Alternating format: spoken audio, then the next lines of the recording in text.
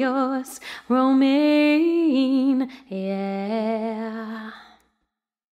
One happy birthday dot com.